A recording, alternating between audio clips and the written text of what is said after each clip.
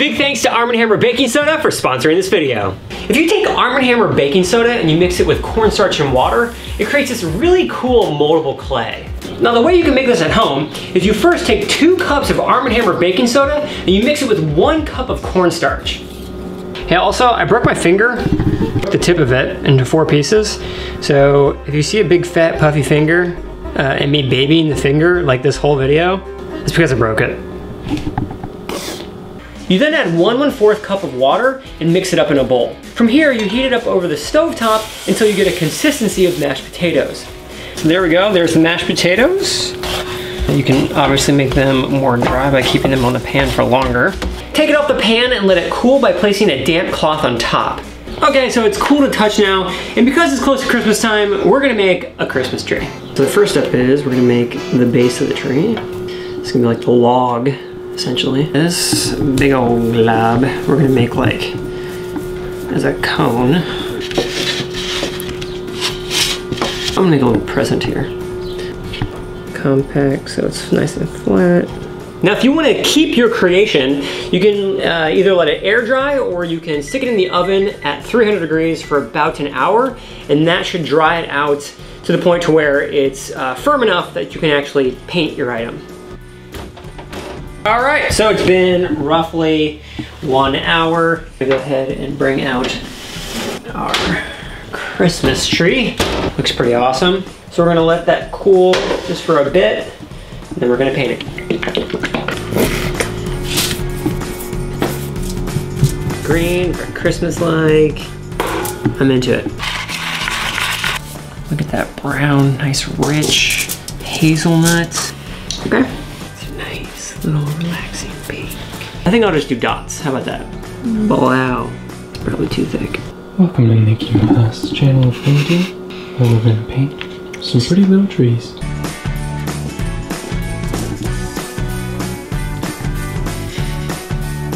Nice. It's pretty good. Okay, there we go. It's kind of like the perfect little accessory to go with our no snow snowman that we made in our other Arm & Hammer baking soda video. Um, just the perfect little fun, awesome science experiment you can do at home with your family and friends. So by mixing Arm & Hammer baking soda and cornstarch together, we have this material that pretty much looks and feels like hard clay. So this got me thinking, how large of an item could we make with this clay? And would it be possible to make a real functioning sled out of this baking soda clay? Now, we did some earlier testing and made several batches of mini flat bricks with different ingredient combinations. We did this because we figured in order to scale up, we'd have to enhance the baking soda clay formula. We found that the optimal mixture is Arm & Hammer baking soda, cornstarch, and a little bit of kaolin clay. The kaolin clay acts as a binder and keeps the material all in one place without cracking. Now that we have our materials in place, we thought we would engineer three different types of sleds to make sure that we would actually get down the hill. Our first concept is called the Soda Flyer. This is a solid piece of soda clay mixture shaped into a sled that we're letting air dry. Like cookie dough. All right. Ta-da, sled. See? That's it. This will produce no friction. This guy gets it, for sure. Be about there already. You should make it flat and then curve it up. Add the curve. Yeah.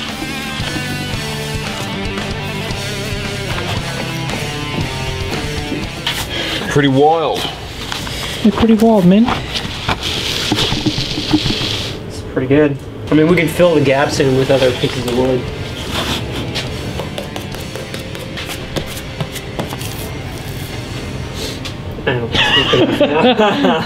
Our second concept is called the Bricky Boy. This is a sled made from many soda clay bricks that we oven baked with a second layer of polyurethane spray foam. Handing off the baton like Olympic runners. Like you're frosting a cake.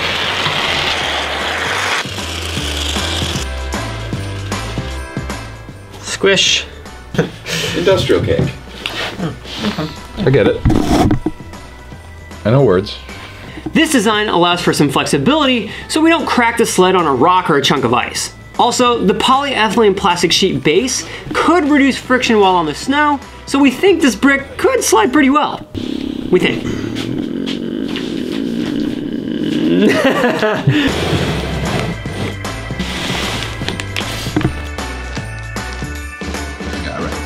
Our third concept is called the Winter Barrow. This is the same material creation process as our Soda Sled Flyer.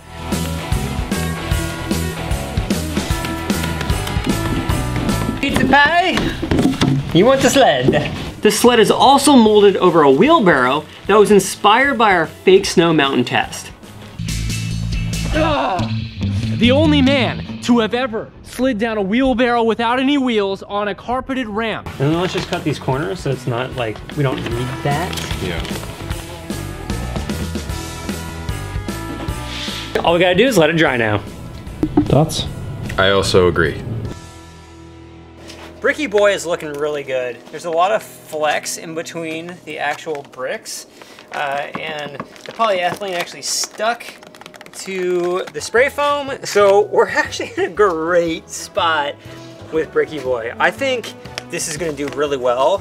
We got the, the perfect uh, sled shape up here.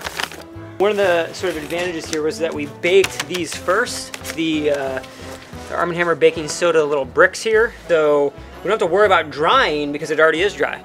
And so this could go out right now. So here's our soda sled flyer. This looks awesome. It's exactly how I planned. It's very solid. I think it dried a lot better than the winter barrow. Now, now that I see it kind of all out, it actually makes me really nervous because I think of all of them, this one might be the one that gets destroyed first because I'm seeing how thin it is and I can kind of like just get an idea about how brittle it is. All right, so this is the winter barrow and it's not quite dry actually. Like if I push in on the center here, uh, it, still goes in a little bit. What that probably means is that on the bottom there, right underneath this uh, plastic sheeting, it's probably still a little um, soft still. So we're gonna let this keep drying. It's done a really fabulous job drying from the top down, um, but it's looking great.